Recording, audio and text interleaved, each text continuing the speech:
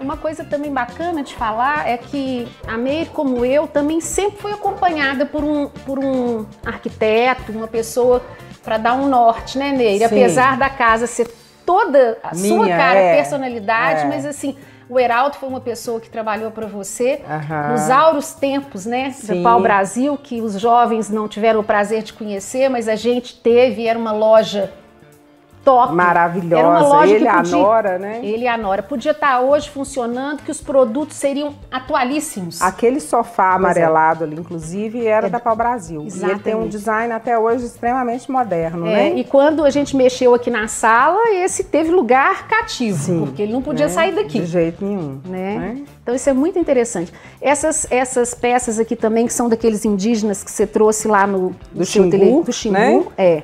E os outros são de onde? Que você até trouxe para mim os de Os outros viagem. eu trouxe de Corumbá. Ah, tá. É, são, são trabalhos indígenas também. E para a gente falar desse trabalho do, do Xingu, né, eu gostaria também de salientar aquela peça. É uma peça, então, dos povos do Xingu, né? E por si só eu acho que é uma obra de arte, apesar dela ser uma embalagem. Ela veio trazendo as cerâmicas que teriam que ser super bem protegidas. Uhum. Então eles fizeram ali um embaranhado de linhas com bambu e outras, outros tipos de, de, de galhos que de podem raízes, ser vergados. É, galhos, é. é uhum. né? E depois a gente achou esse lugar aí especial para ele que eu acho que ficou perfeito. Especialmente eu amo essas bonecas. São da Zezinha, que é uma mestra do Vale de Jequitinhonha. É, ela não sei se ela tem noção, acredito que hoje sim, mas as bonecas são autorretrato, né? E eu acho elas assim de uma delicadeza, né, apesar de ser, do, de ser de barro, né?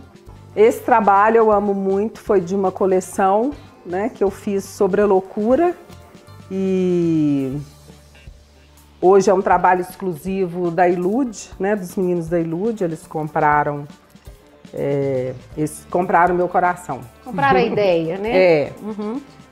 Esse banco também, eu acho que a primeira pessoa que valorizou esse tipo de trabalho numa casa cor foi o Arthur de Casas Marcos, né, lá em São Paulo.